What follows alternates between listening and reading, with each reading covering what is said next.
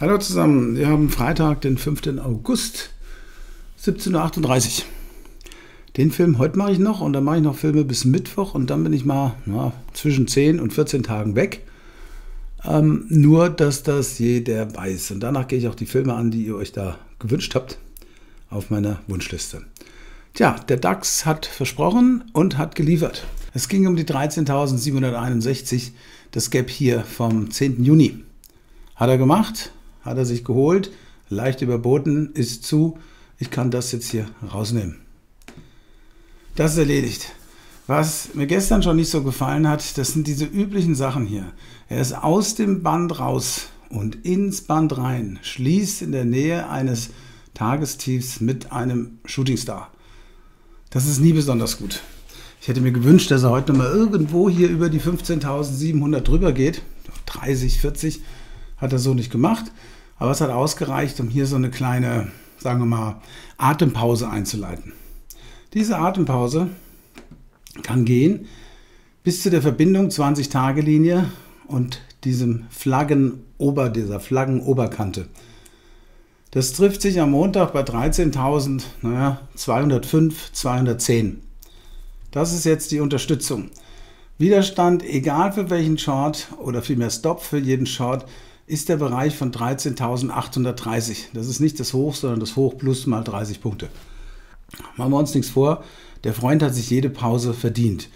Ob die jetzt korrektiv läuft, also hier runter oder seitwärts, ist schwer zu sagen. Ich tendiere allerdings dazu, dass er das hier alles abbauen muss. Ich mache mal das Bild ein bisschen enger, dann sieht man es besser. Das hier alles abbauen muss, diesen überkauften Zustand hier, das Histogramm im MACD wird jetzt schon wieder ein bisschen kürzer.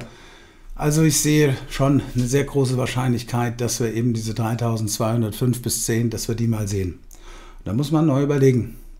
Ich finde die nach wie vor sehr spannend. Es gibt jeden Tag eine neue Geschichte, ob es heute die Deutsche Post ist oder auch mal die Bayerner Runden. Ob es die Lufthansa war in dieser Woche. Ich hatte die auch für die App gekauft, zu früh gegeben, weil ich wollte mich nicht auf diese Gewerkschaftsgeschichte da einlassen, auf die Lösung. Ich meine, die ist, die ist nicht schlecht, ja, für beide Seiten anscheinend wirklich ganz gut. Aber das habe ich auch schon so und so erlebt. Das wollte ich nicht. Da möchte ich nicht dabei sein. Die Banken haben sich ordentlich verhalten. Also man darf sich hier wirklich nicht beschweren. Wie gesagt, versprochen und geliefert. Dann dieses Chartsignal hier geliefert.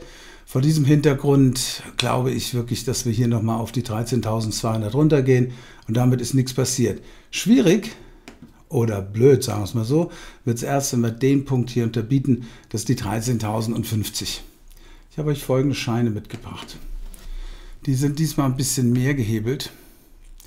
Und zwar als Call ein Basis 13.017. Das liegt eben unterhalb von dieser eben genannten Unterstützungslinie hier.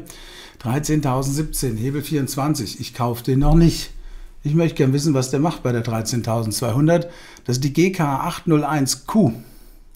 Und als Put, auch relativ eng mit dem 25er Hebel, ein ganz knapp über der 14.000, aber 14.078. Da sind wir hier, wo jetzt die Maus ist. Das ist die GX8 SL3. Also ich denke, der wird jetzt erst noch mal ein bisschen den Hebel abbauen, respektive steigen im Preis.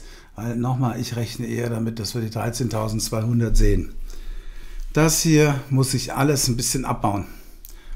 Nun, jetzt wünsche ich euch ein schönes Wochenende, hoffentlich nicht zu heiß, ein Happy Trading und fette Beute. Bye bye.